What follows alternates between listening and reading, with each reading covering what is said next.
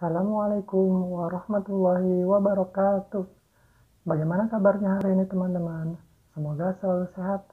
Kembali lagi bersama Ustadz Yusuf. Hari ini kita akan belajar materi seni kelas 6. Kita akan belajar mengenal pola lantai pada tari daerah. Di tema 2 subtema 1 rukun dalam perbedaan. Nah, di sini ada lagu subtema teman-teman yang judulnya Mari Rukun dengan menggunakan nada gembira bersama. Nah, nadanya itu seperti ini teman-teman. Teman-teman boleh nyanyi bersama-sama di rumah. Satu, dua, tiga. Ayo kawan, ayo kawan berkumpul. Berkumpul bersama teman semuanya. Jangan segan, jangan segan bersama Marilah menjaga kerukunan dengan ayah, dengan ibu, dengan kakak, juga dengan adik, dengan teman, dengan tetangga, dengan sama mari jaga kerukunan. Nah, dalam surat Al-Maidah ayat 2 Allah Subhanahu Allah Subhanahu wa taala berfirman yang artinya dan tolong menolonglah kamu dalam mengerjakan kebajikan dan takwa. Dan jangan tolong menolong dalam berbuat dosa dan pelanggaran. Dan bertakwalah kamu kepada Allah sesungguhnya Allah maha berat siksanya. Nah hari ini kita akan belajar mengenal pola lantai. Jadi teman-teman pola lantai itu adalah garis yang dilalui penari pada saat melakukan gerak tari. Pada dasarnya, ada dua pola garis dasar pada lantai yang dapat dikembangkan, yaitu pola garis lurus dan pola garis lengkung. Nah, bisa teman-teman lihat, di sini ada pola lantai garis lurus dan pola lantai garis lengkung.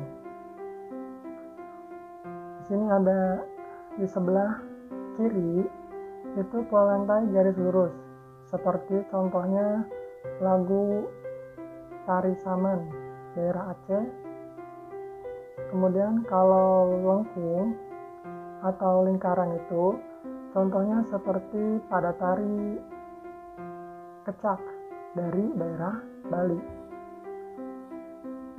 Selanjutnya pola lantai gerak tari Nusantara. Ada tiga macam pola lantai pada tari Nusantara yaitu yang pertama ada tari rakyat ada tari klasik dan juga tari kreasi.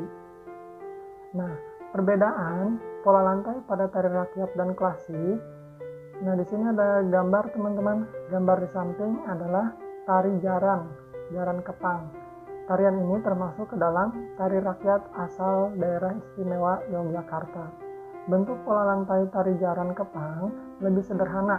Pola lantainya berbentuk garis horizontal dan tidak mempunyai maksud apa pun. Kemudian gambar di samping ini adalah tari bedaya. Tarian ini termasuk ke dalam tari klasik asal Yogyakarta juga. Bentuk pola lantai tari bedaya mempunyai maksud tertentu. Pola lantainya disebut rakit jalur. Pola lantai rakit jalur memiliki makna menggambarkan lima unsur yang ada dalam diri manusia.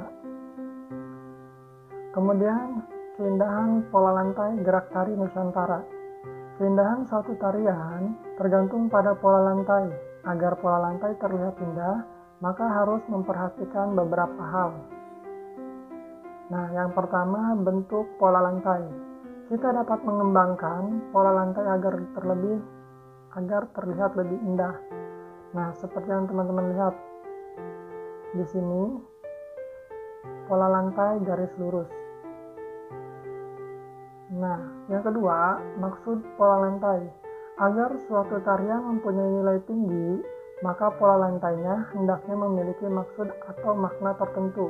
Misalnya, gambar di bawah ini, pola lantainya memiliki maksud kebersamaan dan tidak mungkin bersama jika tidak hidup rukun. Dan di sini menggambarkan kehidupan yang rukun teman-teman, saling menghargai dan saling menghormati. Dan terciptanya suatu tari yang berkelompok seperti ini, ini termasuk juga menggambarkan kehidupan yang rukun, saling menghargai dan menghormati. Yang ketiga, kesesuaian bentuk pola lantai dengan jumlah penari. Jadi pola lantai yang baik harus menyesuaikan dengan jumlah penarinya agar semua penari bisa mengikuti gerakan pola lantai yang dibuat. Yang keempat, kesesuaian bentuk pola lantai dengan ruangan. Ruangan tempat pertunjukan tari berbeda-beda, sehingga pola lantai yang dibuat harus menyesuaikan bentuk ruangan pertunjukan. Itu. Dan kapasitas dari penarinya juga harus disesuaikan dengan ruangan tersebut. Kemudian kesesuaian bentuk pola lantai dengan gerak. Tari yang menonjolkan gerak tangan pola lantainya adalah gerak lurus ke depan. Jadi gerak lurus ke depan. Jika pola lantainya berbentuk melengkung, maka keindahan gerak tangannya tidak terlihat. Contoh pola lantai pada tari daerah. Nah, di sini yang pertama garis horizontal, tari saman dari daerah Aceh. Kemudian garis lengkung ke depan. Ini tari sekapur sirih dari Bengkulu. Nah, di bawahnya ada tari pendet dari Bali, garis lengkung ke depan.